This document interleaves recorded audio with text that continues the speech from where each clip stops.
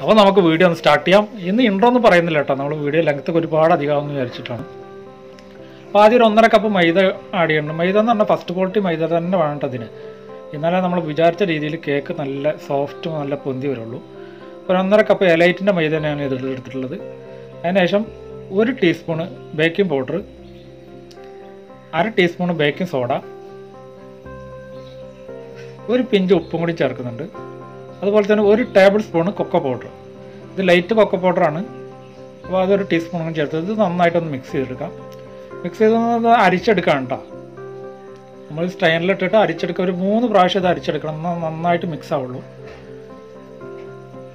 Minimum ഒരു മൂന്ന് പ്രാവശ്യമെങ്കിലും അരിച്ചെടുക്കണം കേട്ടോ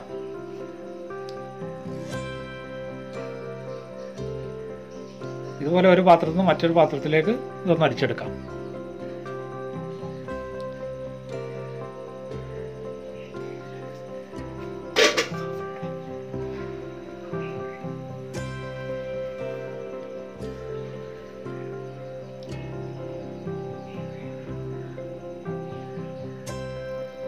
ഇത് ഞാൻ അരിച്ചെടുത്തിട്ടുണ്ട്. ഇനി നമുക്ക് ബട്ടർ മിൽക്ക് തയ്യാറാക്കാം. അതിനുവേണ്ടി ഒരു അര കപ്പ് പാലിലോട്ട് ഒരു ടീസ്പൂൺ വിനീഗർ ചേർത്ത് നന്നായിട്ടൊന്ന് മിക്സ് ചെയ്ത് വെക്കാം ഇതൊന്ന് പിരിഞ്ഞ് വരണം കേട്ടോ. നമ്മൾ തൈരിന്റെ രൂപത്തിലായി വരാൻ വേണ്ടിയിട്ടുണ്ട്. ഒന്ന് പിരിഞ്ഞ് വന്നു കഴിഞ്ഞാൽ അതിന് വേണ്ടിയിട്ട് ഒരു ചെറിയ ചൂട് വളരെ ചെറിയ ചൂടിലുള്ള പാലാണ്. ഇനി നമുക്ക് മുട്ട ഒന്ന് ബീറ്റ് ചെയ്തെടുക്കാം. അതിന് വേണ്ടി മൂന്ന് മുട്ട എടുത്തിട്ടാണ് ഞാൻ ബീറ്റ് ചെയ്യുന്നത്.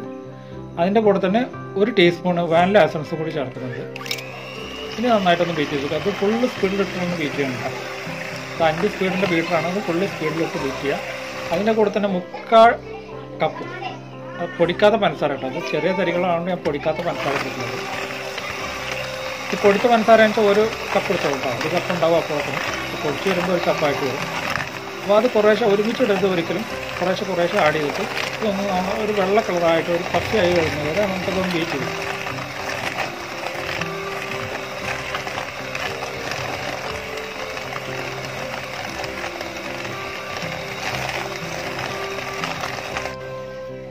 അപ്പോൾ നന്നായിട്ട് ബീറ്റ് ചെയ്ത് വന്നിട്ടുണ്ട്. കണ്ടോ ഈ ഒരു ലെവലിൽ വേണം അത് ബീറ്റ് ചെയ്തെടുക്കാൻ വേണ്ടിയിട്ട്. ഇനി നമ്മുടെ നേരത്തെ എടുത്തു വെച്ച ബട്ടർ മിൽക്കിലോട്ട് ഒരു ടീസ്പൂൺ സൂപ്പർ റെഡും അര ടീസ്പൂൺ ടൊമാറ്റോ റെഡും പാടെ ഒന്ന് ചേർത്ത് നന്നായിട്ടൊന്ന് മിക്സ് ചെയ്ത് വെക്കാം. ടൊമാറ്റോ റെഡ് ഇല്ലാത്തവർ കുഴപ്പമൊന്നുമില്ല. ഇതൊരു നന്നായിട്ടൊരു കളർ കിട്ടാൻ വേണ്ടിയിട്ടാണ് ടൊമാറ്റോ റെഡും സൂപ്പർ റെഡും രണ്ടും പാടെ മിക്സ് ചെയ്ത് വെച്ചിട്ടുള്ളത്. ഇനി നമുക്ക് കുറേശ്ശെ ഈ ഡ്രൈ ഇൻഗ്രീഡിയൻസ് കുറേശ്ശെ ചേർത്തിട്ട് ഇതൊന്ന് ഫോൾഡ് ചെയ്തെടുക്കാം. ഇതൊരു ഫോൾഡ് ആൻഡ് കട്ട് രീതിയിൽ വേണം ചെയ്യാൻ കേട്ടോ. ഏതാ നിങ്ങൾ ഏത് സൈഡിലോട്ടാണ് ഫോൾഡ് ചെയ്യണമെങ്കിൽ ആ സൈഡിലോട്ട് മാത്രമേ ഇത് ഫോൾഡ് ചെയ്യാൻ പാടുള്ളൂ. തിരിച്ചു മറുത്തെടുത്തിട്ട് മൊത്തമായിട്ട് ഒരു ഇളക്കി യോജിപ്പിക്കരുത് ഒരിക്കലും. അപ്പോൾ കേക്ക് ഒരിക്കലും പൊതി വരില്ല കേട്ടോ. ഞാൻ ഈ ക്ലോക്ക് വൈസിൽ ചെയ്യുന്നത് മാതിരി ഒരു സൈഡിൽ നിന്ന് ഒരു സൈഡിലോട്ട് മാത്രം എല്ലാ ഭാഗത്തും ഒരേമാതിരി ഇളക്കി കൊടുക്കരുത്. ഇനി നമ്മൾ ബട്ടർ മിൽക്ക് കുറേശ്ശെ ആഡ് ചെയ്യുക അതിന്റെ കൂടെ തന്നെ ഡ്രൈ ഇൻഗ്രീഡിയൻസ് കുറേശ്ശെ ആഡ് ചെയ്യുക. ഒരുമിച്ചിടരുത്. കുറേശ്ശെ കുറേശ്ശെ ആഡ് ചെയ്തിട്ട് നന്നായിട്ടൊന്ന് ഫോൾഡ് ചെയ്തെടുക്കാം. അടിഭാഗത്തുനിന്ന് മേൽഭാഗത്ത് പൊന്തിച്ചെടുത്താൽ മതി. എന്നാൽ ഒരിക്കലും ഈ ബാറ്റർ ഒരിക്കലും താഴ്ന്നു പോയില്ല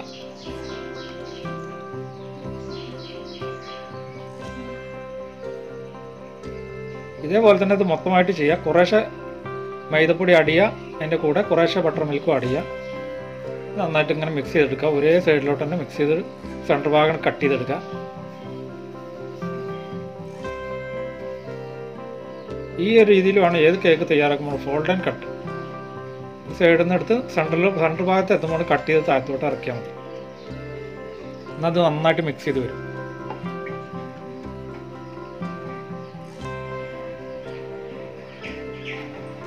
ഈ അവസാന സമയത്ത് നമ്മൾ ബട്ടർ മിൽക്ക് കുറച്ച് ഒഴിച്ചതിന്റെ ശേഷം കുറച്ച് ഡ്രൈ ഇൻഗ്രീഡിയൻസ് ബാക്കി വെക്കണം കേട്ടോ. അവസാനം ഡ്രൈ ഇൻഗ്രീഡിയൻസ് കുറച്ച് ബാക്കി വെച്ചതിന്റെ ശേഷം വേണം അവസാനം ആ ഡ്രൈ ഇൻഗ്രീഡിയൻസ് ഇട്ട് ഒന്ന് ഒന്നുകൂടി ഫോൾഡ് ചെയ്ത് എടുത്ത് എടുക്കണം കേട്ടോ എല്ലാം മിക്സ് ചെയ്ത് കഴിഞ്ഞിട്ടുണ്ട്. ഇനി അതിലോട്ട് ഒരു രണ്ട് ടേബിൾ സ്പൂണ് ഓയിൽ ഒഴിച്ചിട്ടുണ്ട്. ഞാൻ സൺഫ്ലവർ ഓയിൽ അയക്കുന്നത് കേട്ടോ അത് തന്നെ ഒഴിക്കാൻ ശ്രദ്ധിക്കുക. അപ്പോൾ അത് ഒഴിച്ച് കൂടുതലും മിക്സ് ചെയ്യേണ്ട ആവശ്യമില്ല. രണ്ട് പ്രാവശ്യം ഒന്ന് മിക്സ് ചെയ്തതിന് ശേഷം നമുക്ക് കേക്കിന്റെ ടിന്നിലോട്ട് മാറ്റി വെക്കാം. നമ്മൾ ആദ്യമേ കേക്ക് ടിന്നൊക്കെ റെഡിയാക്കി വെക്കണം. ഇത് കൂടുതൽ ഇങ്ങനെ വെക്കാൻ പാടില്ല. അതിനുകൊണ്ട് അതുകൊണ്ടാണ് പറയുന്നത് ആദ്യം കേക്ക് ടിന്നൊക്കെ ഇതുപോലെ റെഡിയാക്കി വെച്ചതിന് ശേഷം വേണം നമ്മൾ ബാക്കിയുള്ള പണികൾ സ്റ്റാർട്ട് ചെയ്യാം. ഇനി ഇതുപോലെ ഒന്ന് ടാപ്പ് ചെയ്തെടുക്കുക. ഞാൻ ഒരു പതിനഞ്ച് ഇരുപത് പ്രാവശ്യം ഇങ്ങനെ ടാപ്പ് ചെയ്യണം കേട്ടോ. അതിൽ എയർ ബബിൾസ് ഉണ്ടാവും അതൊക്കെ പോയിട്ട് വേണം നമുക്ക് ഓവനിലോട്ട് വെക്കാൻ. അപ്പോൾ നമ്മളിത് റെഡിയാക്കുന്ന സമയത്ത് ഓവൻ ഞാനൊരു പത്ത് മിനിറ്റ് നൂറ്ററുപത് ഡിഗ്രിയിൽ പ്രീ ഹീറ്റ് ചെയ്ത് വെച്ചിട്ടുണ്ട് കേട്ടോ. ചൂടാക്കി വെച്ചിട്ടുണ്ട്. നമ്മൾ ഇത് വേറെയുള്ള പാത്രങ്ങളിലൊക്കെ വെക്കുകയാണെങ്കിലും ഒരു നന്നായിട്ടൊന്ന് ചൂടാക്കി വെക്കണം. ഇനി ഇത് ഓവനിലോട്ട് വെക്കാം. ഇനി ഒരു വൺ എയ്റ്റി ഡിഗ്രിയിൽ ഒരു നാൽപ്പത് മിനിറ്റ് ഞാൻ സെറ്റ് ചെയ്തിട്ടുണ്ട്. അപ്പോൾ ആ നാൽപ്പത് മിനിറ്റ് കഴിയുന്നത് വരെ നമുക്കൊന്ന് വെയിറ്റ് ചെയ്യാം.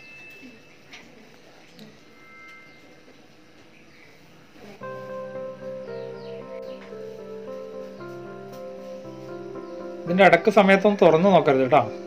അപ്പോൾ ഇത് കണ്ടോ? വളരെ നന്നായിട്ട് പൊന്തി വന്നിട്ട് നല്ല സോഫ്റ്റ് ആയിട്ട് വന്നിട്ടുണ്ട്. ഇതുപോലെ വല്ല ടൂത്ത് പിക്ക് എന്തെങ്കിലും വെച്ച് ഒന്ന് നോക്കിയാൽ മതി. നാൽപ്പത് മിനിറ്റ് കഴിഞ്ഞതിന് ശേഷം. ഇപ്പോൾ ഇത് ഒട്ടി ആയിട്ടില്ല എന്നർത്ഥം. അപ്പോൾ ഒരു പത്ത് മിനിറ്റ് കൂടി വെച്ചാൽ മതി കേട്ടോ. ഇപ്പോൾ ഇത് റെഡി ആയിട്ടുണ്ട്. ഇനി നമുക്ക് ഓവനെല്ലാം ഓഫ് ചെയ്ത് ഇത് പുറത്തോട്ട് വെച്ച് ഇത് കേക്ക് പുറത്തെടുക്കണം കേട്ടോ. ഒരു രണ്ട് മിനിറ്റിനുള്ളിലോട്ട് ഇതൊന്ന് കേക്ക് പുറത്തെടുക്കണം.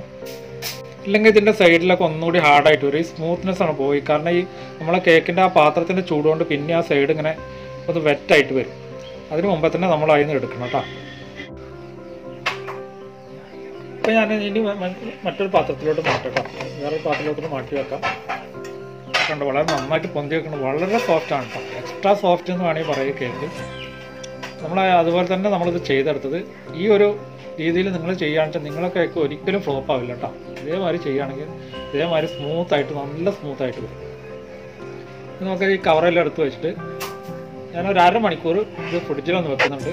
ഫ്രിഡ്ജിൽ വെച്ചിട്ട് കട്ട് ചെയ്യുമ്പോൾ ഒന്ന് കട്ട് ചെയ്യുമ്പോൾ ഇത് പൊടിഞ്ഞു പോകാതെ നന്നായിട്ട് കട്ടായിട്ട് വരും. അതിന് വേണ്ടിയിട്ട് അത് ഫ്രിഡ്ജിൽ വെക്കുന്നു കേട്ടോ അത് ഫ്രിഡ്ജിലൊക്കെ വെച്ച് എടുത്തിട്ടുണ്ട്.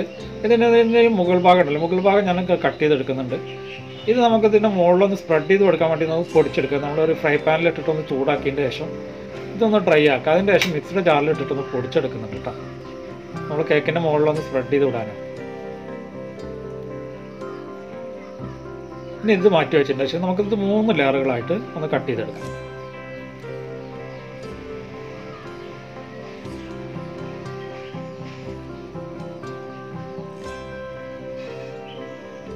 നല്ല കയക്ക് നല്ല ഉയരം വന്നതുകൊണ്ട് തന്നെ നമുക്ക് മൂന്ന് ലെയറും വേണമെങ്കിൽ നാല് ലെയറും ആക്കി എടുക്കട്ടെ അത്. ഞാൻ അത് മൂന്ന് ലെയർ മാത്രമേ ആക്കുന്നുള്ളൂ. ഇനി നമുക്കിത് ഐസിങ് ചെയ്യാൻ അതിന് വേണ്ടിയിട്ട് ഞാൻ ടെൻ ടേബിളിന്റെ മുകളിൽ കുറച്ച് വിപ്പിംഗ് ക്രീം തേച്ച് വെച്ചിട്ടുണ്ട്. അതിന്റെ മുകളിൽ ഫസ്റ്റ് ലെയർ വെച്ചതിന് ശേഷം നമ്മൾ സുഗർ സിറപ്പ് നാടി. ഷുഗർ സിറപ്പ് ഉണ്ടാക്കാൻ വളരെ സിമ്പിൾ പരിപാടി. ഒരു കാൽ കപ്പ് ഷുഗർ എടുത്തതിന് ശേഷം അര കപ്പ് വെള്ളത്തിൽ നന്നായിട്ട് തിളപ്പിച്ചതിന് ശേഷം ചൂടാറാൻ വേണ്ടി പറ്റിയ. അത് നന്നായിട്ടും തേച്ചു എന്നാലേ ഈ കേക്ക് ഒരു സ്മൂത്ത് ആയിട്ട് വരുള്ളൂ. നല്ലൊരു കഴിക്കുമ്പോൾ നല്ല ടേസ്റ്റ് ആയിട്ട് വരുള്ളൂ കേട്ടോ ഈ ഐസിങ് ഞാൻ ഡീറ്റെയിൽ ആയിട്ട് പറയുന്നൊന്നുമില്ല. ഇത് പറയുമ്പോൾ ഒരുപാട് ഡീറ്റെയിൽ ആയിട്ട് നമുക്ക് ചെയ്ത് കാണിച്ചു തന്നെ തരണം. അപ്പോൾ വീഡിയോ ഒരുപാട് ലെങ്ത് ആവുമെന്ന് വിചാരിച്ചിട്ട് അത് ഞാൻ ജസ്റ്റ് ഒന്ന് ഓടിച്ച് പോകണം കേട്ടോ അപ്പോൾ അതിന്റെ ഒരു വീഡിയോ വേണമെങ്കിൽ ഇതിന്റെ വീഡിയോക്ക് താഴെ ഒന്ന് കമന്റ് ചെയ്താൽ മതി. നമ്മൾ ഐസിങ്ങിന്റെ സെപ്പറേറ്റ് ഒരു വീഡിയോ തന്നെ ആയിട്ട് ചെയ്യാം കേട്ടോ അതായത് സെപ്പറേറ്റ് ആയിട്ടൊരു വീഡിയോ ചെയ്യാൻ തന്നെ ഉണ്ട്. ഡീറ്റെയിൽ ആയിട്ട് പറയാണ് വിപ്പിംഗ് വിപ്പിംഗ് ക്രീം എങ്ങനെ വളരെ സോഫ്റ്റ് ആയിട്ട് ഉണ്ടാക്കിയെടുക്കാം? പെട്ടെന്നൊന്നും അലിഞ്ഞു പോകാത്ത രീതിയിൽ എങ്ങനെ ഉണ്ടാക്കിയെടുക്കാം എന്നുള്ളൊരു വീഡിയോ നമുക്ക് സെപ്പറേറ്റ് ആയിട്ട് തന്നെ ചെയ്യാം കേട്ടോ.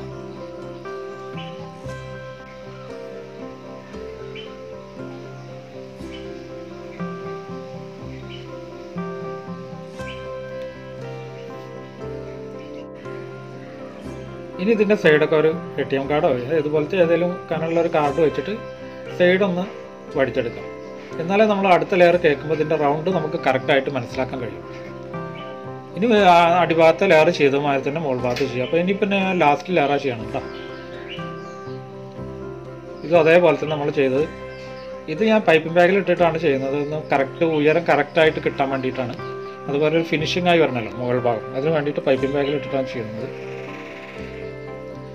ഇതുപോലെ തന്നെ ഇതിന്റെ സൈഡ് ഭാഗം ഒന്ന് ചെയ്തെടുക്കാം. ഇപ്പോൾ ഇതെല്ലാം ഞാൻ ചെയ്ത് കഴിഞ്ഞിട്ടുണ്ട് കേട്ടോ വീഡിയോ ഒരുപാട് ലെങ്ത് കൂടുകയാണ് അതുകൊണ്ടാണ് ഞാൻ അത് പെട്ടെന്ന് സ്കിപ്പ് ചെയ്ത് പോയത് കേട്ടോ ഇത് നേരത്തെ നമ്മൾ കട്ട് ചെയ്ത ഭാഗമാണ് കേട്ടോ ഇത് ഞാനൊന്ന് ചൂടാക്കി മിക്സിയിൽ ഗ്രൈൻഡറിലിട്ടൊന്ന് മിക്സിയുടെ ജാറിലിട്ടൊന്ന് പൊടിച്ചെടുത്താണ്. ഇത് ഇതിന്റെ മുകളിൽ ഇതേമാതിരി സ്റ്റൈൻഡർ വെച്ചിട്ടൊന്ന് എല്ലാ ഭാഗത്തും എത്തുന്ന രീതിയിൽ നമ്മൾ കൈ കൊണ്ട് ഇടുമ്പോൾ എല്ലാ ഭാഗത്തും കറക്റ്റായിട്ട് വീഴണമെന്നില്ല. അതാണ് ആ സ്റ്റൈൻഡർ എടുത്തിട്ട് ചെയ്യുന്നത്. ഇനി ഇതിന്റെ മുകളിൽ നമുക്ക് ഇഷ്ടമുള്ള ഫ്ലവർ ഏത് രീതിയിൽ വേണമെങ്കിൽ ചെയ്യാം. നമ്മളിപ്പോൾ നമ്മളെ കൈന്റെ ഇത് കൂടുതൽ ഡെക്കറേഷനൊന്നും വേണ്ട ഒരു സിമ്പിൾ കേക്ക് എന്ന് പറഞ്ഞുകൊണ്ടാണ് ഞാൻ ഇതേമാതിരി ചെയ്യുന്നത്. ഇനി അതിന്റെ മുകളിൽ ജസ്റ്റ് ഒരു ഷുഗർ ബോൾ ഇട്ട് കൊടുക്കുന്നുണ്ട്. വളരെ കുറച്ച് തന്നെ ഉള്ളൂ. ഇത് ഏറ്റവും ചെറിയ ഷുഗർ ബോൾ കേട്ടോ ഏറ്റവും ചെറുതാണ്. ഇതിന്റെ വലിപ്പമൊക്കെ പല രീതിയിൽ കിട്ടാനുണ്ട്. അപ്പോൾ നമ്മുടെ കേക്ക് അവിടെ റെഡി ആയിട്ടുണ്ട് കേട്ടോ അപ്പോൾ നിങ്ങൾക്ക് എല്ലാവർക്കും വീഡിയോ ഇഷ്ടപ്പെട്ടെന്ന് കരുതുന്നു. വീഡിയോ ഇഷ്ടപ്പെട്ട് കഴിഞ്ഞാൽ വീഡിയോ ഒന്ന് ലൈക്ക് ചെയ്യുക അതുപോലെ ഷെയർ ചെയ്യുക. അതുപോലെ തന്നെ ഈ വീഡിയോയ്ക്ക് താഴെ പോയിട്ട് എന്റെ ചാനലും കൂടി ഒന്ന് സബ്സ്ക്രൈബ് ചെയ്യുക. അപ്പോൾ ഓക്കെ ഇതുപോലത്തെ അടിപൊളി വീഡിയോ ആയി അടുത്ത വീഡിയോയിൽ കാണുമ്പോഴേക്കും ബൈ ബൈ